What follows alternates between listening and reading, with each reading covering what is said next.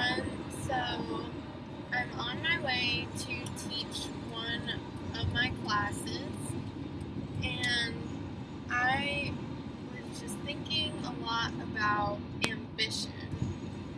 And me and my sister were talking about it earlier today about how different we seem to be because of our ambition to get things done how we have goals and we know where we want to go and we're taking the steps to get there. So, I was just thinking about the three things that I think it takes to, or that are involved with ambition. And I think those th- three things are dreaming, persistent determination, and action.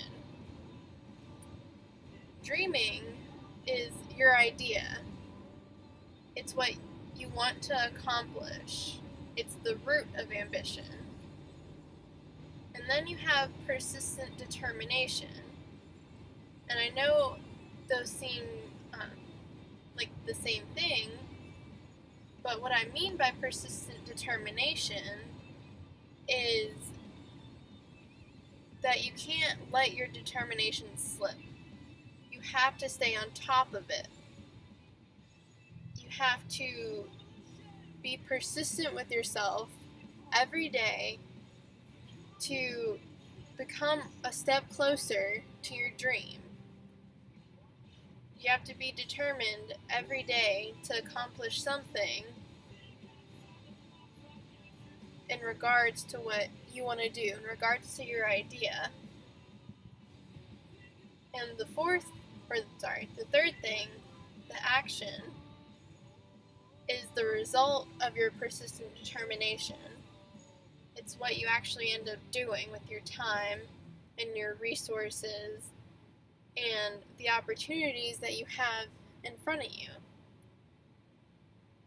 And I can't explain. Like, I know all of you have at one point or another said you were going to do something, and then you ended up not doing it and feeling really bad about yourself.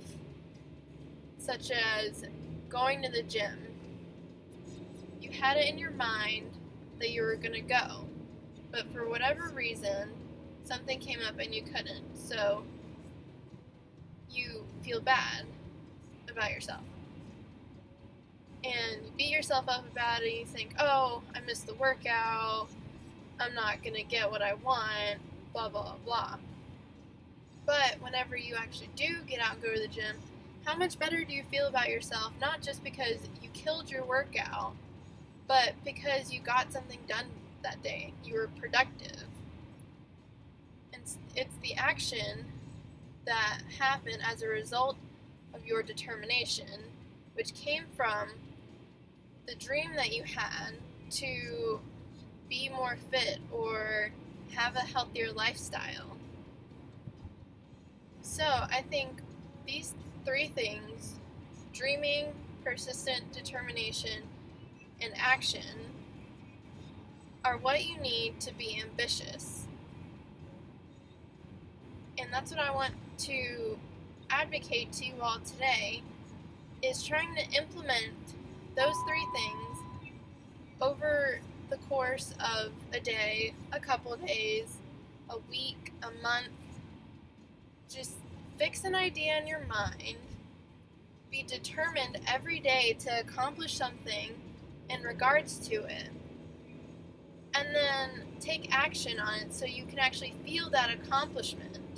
So that you're one step closer to your dream and you're creating this really hopeful ambitious ambitious side to yourself that helps you feel better about being successful in some aspect of your life, whether it's your health, your your mental state, your emotional state, or even your spiritual state.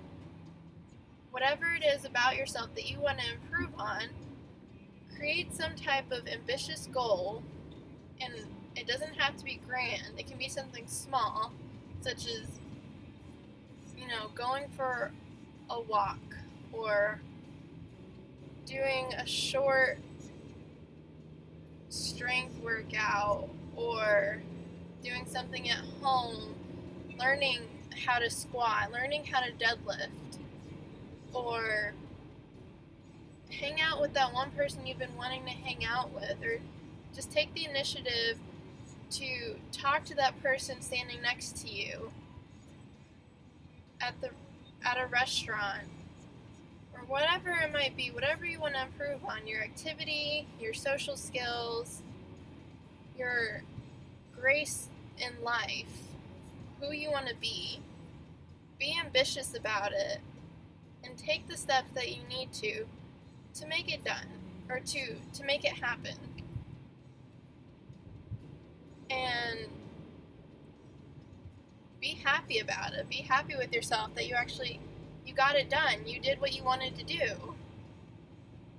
Because those are the first steps to feeling better about yourself and being a happier, healthier, better you. So that's all I want to say today.